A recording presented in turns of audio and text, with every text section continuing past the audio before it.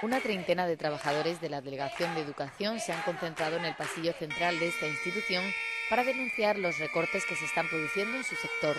Reivindican el cese de las privatizaciones, así como la cobertura de las vacantes que se produzcan. También piden que se implanten jornadas especiales del convenio colectivo y que se negocien los calendarios laborales, entre otras muchas cosas.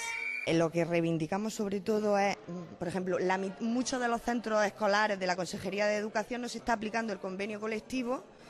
eh, y creemos que nosotros somos el sector más vulnerable por el que y el frente perfecto por el que van a avanzar las privatizaciones y esto no podemos consentirlo.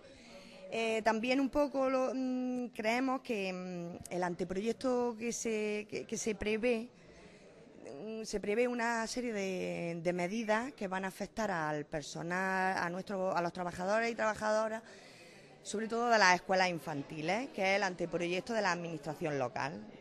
Una concentración que se ha mantenido durante toda la mañana y en la que los trabajadores del sector administrativo de la delegación han querido mostrar su postura contra los recortes que están viviendo.